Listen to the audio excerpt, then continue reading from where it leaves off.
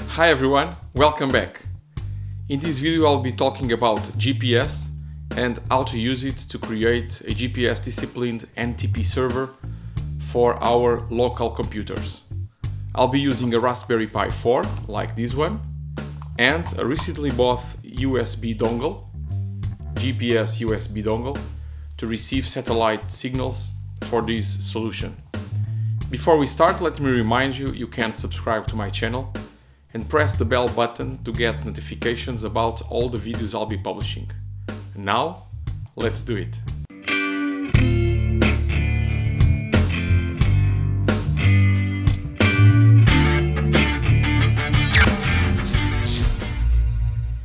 The big question we are always asking today is what time is it? We need precise time for our everyday tasks, appointments, jobs, among other things.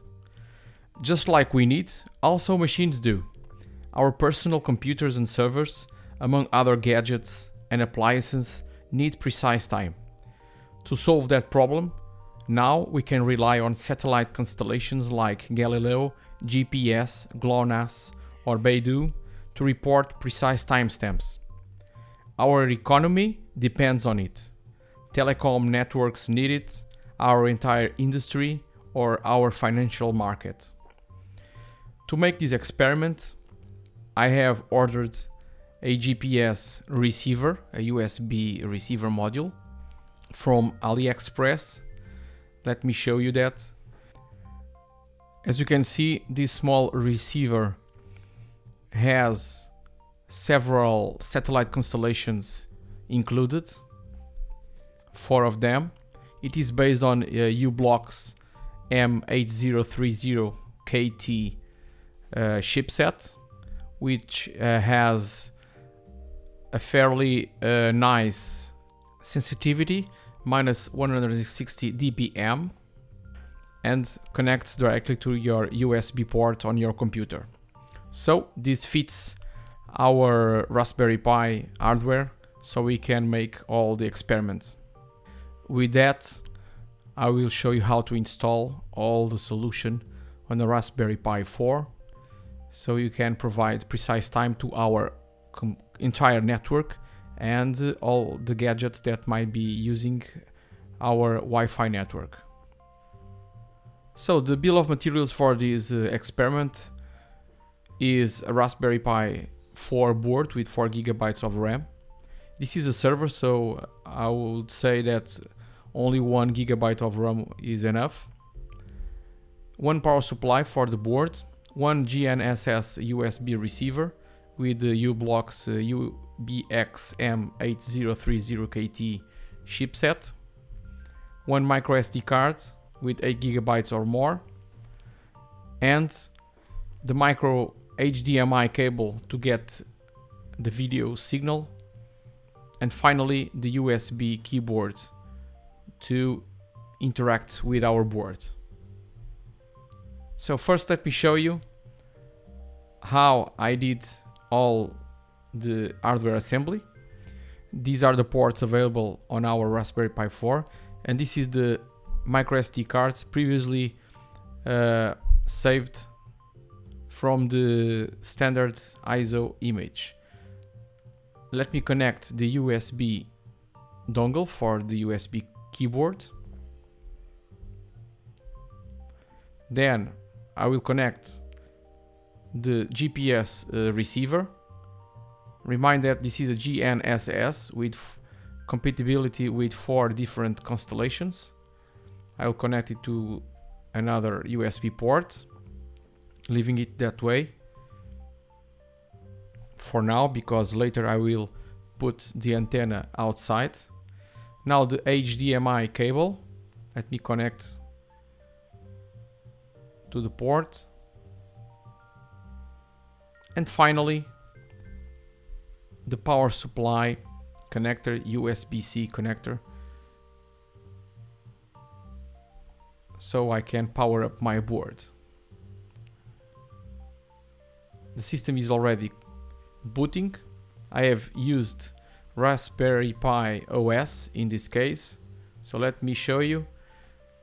The board and the antenna both outside, outdoors, okay? So we can have a very nice signal from the satellites. And that's how I left my board during the entire experiment. After you finish everything and you need to make it available permanently, I would suggest that you create your own enclosure for outdoor usage. So now I am already showing you my Raspberry Pi OS. I will install the necessary packages apt install gpsd, okay this is the GPS daemon, so we can take care of the signals being received from the module, from the USB dongle.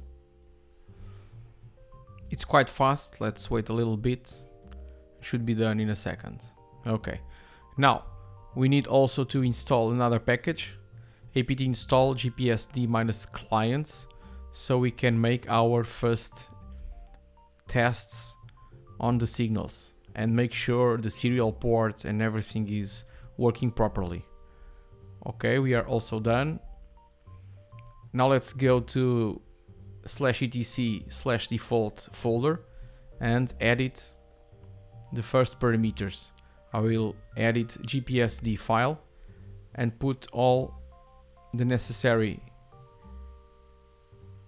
parameters on my file slash dev slash tty ACM0. This is the name of the device that appears on my system. I will show you later how to check it out by ID. Here I'll put some GPS daemon options, minus N, minus D, capital 1, okay. And finally, here below, let's add enabled directive equals yes. So you can make sure it is activated. And finally one last directive which is gps underscore baud equals 600 let's save the file and exit. Now I will start the daemon and check its status so we can make sure that after this configuration everything is working properly. Okay nice. So let's move on. I will show you now how to find out your device by serial as you can see in slash d dev slash serial I have my device correctly configured and at the end of the line you see the name of the device TTY ACM0 that's why I have chosen that path to my device. Now let me stop the daemon because we need to manage the GPS receiver uh, manually this tool called GPS mon with the parameter slash dev slash tty acm0 will give us access to the information provided by the GPS receiver. As you can see, we are already looking at some data. Below, you see raw data being received. Here, you see the number of channels being collected from the satellites. Okay, we see the azimuth of each satellite and the elevation and also the signal noise ratio so we can have an idea of how strong each signal is. For, for example, this satellite which has only 5 degrees of elevation, the signal noise ratio is very low, so we might not have a very good information from that satellite. Okay, but remember that we only need time and at this point we are having a very nice position information with 3D. All these uh, names are types of packets being received from the GPS module that uh, can give us altitudes the latitude, longitude, the time, and other technical data that might be important for uh, some uh, applications. For us, let me remind you that we only need time from this module and here you can see that we have precise time being received. So this is what we need to inject in our NTP server so we can provide that information to all the computers or other servers in our local network. We have also another tool called CGPS that provides the very same information. This is what I'm getting from my module, okay? All the information from the satellites I receive. This uh, satellite uh, elevation and azimuth might change during the day, but as soon as you install all these setup, you will not be looking at this information. You might only need to make sure that you are really getting time information from these uh, satellites we see from our receiver.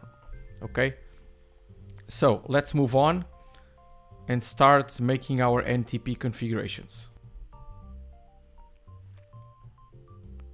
Now I will install NTP package apt install NTP.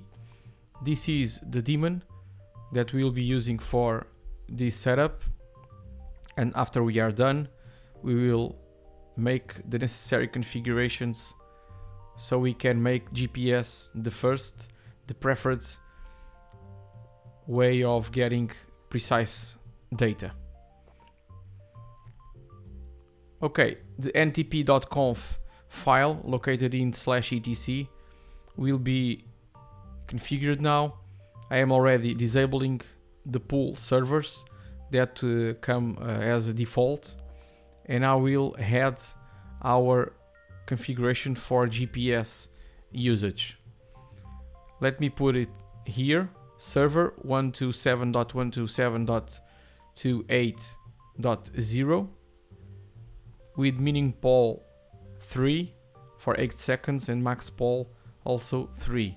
This means that I will be asking for uh, time information every 8 seconds. And then let's tell NTP server that this IP is a, a reference ID of GPS type. Because we could use different time sources. Now let's restart the service, systemctl restart NTP. And after we do that, let's make sure everything is working properly. We see a kernel report with time error, which means that we are not using uh, precision uh, pulse, the PPS signal that can be used. For example, if you use an internal module with an auxiliary uh, general purpose IO to get that information. For us, it's not being used, so it might be giving us an error. Ignore it, it doesn't matter. So now I am using NTP Q minus P to show you our information. We also see that an information is already being provided. Look at the offset of this information that is getting closer to zero. So it is improving because we start from an incorrect time information and we are getting there with small steps because each time we ask what time is it the GPS will give us a correct time and we will be approaching its correct time by uh, giving small steps. It, it's part of the protocol that uh, we don't set our time all the way in only one step.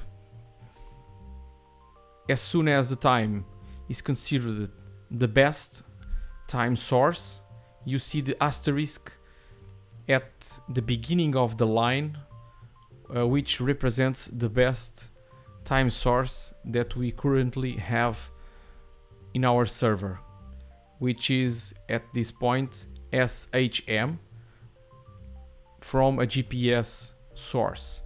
SHM means shared memory because we have an internal socket provided with a, a specific uh, memory address that can share information from GPS daemon and uh, NTP server. Okay, so this information that I am showing you here is real-time data and you can see this is a little bit in fast forward so you can have an idea how it is being changed by NTP. Now I have to configure my firewall so I can accept uh, NTP connections. Let me first add some rules because this experiment is being made through SSH connection, remote connection. Remind that my Raspberry Pi was outdoors during all the experiment and after I accept port 22 for TCP SSH connections and port 123 for NTP I have activated UFW the firewall IP tables and enable it for uh, automatic starts on boot. Now that I have solved my firewall properties let me show you my wireless LAN IP address 192.168.1.151 and I will need that information so I can configure my client.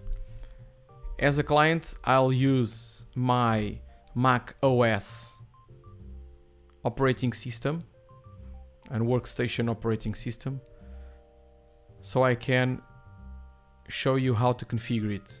I have made this TCP dump uh, command so I can filter only NTP from this source and this is my main uh, time configuration window on my properties window. I have disabled my automatic data and now I will put my NTP server's IP address so you can see network traffic being transferred. So if I make here a very quick experiment disabling, changing day, my date, saving it, when I put it in automatic you see that the date automatically changed to the correct one. I will do the same with my hour, I save, I put in automatic and it sets time automatically. So my Mac OS is setting time and date from my Raspberry Pi that is outdoors near my office getting satellite data with a precise GPS signal, okay, with time and date. And with that information, I am setting my personal computer's clock.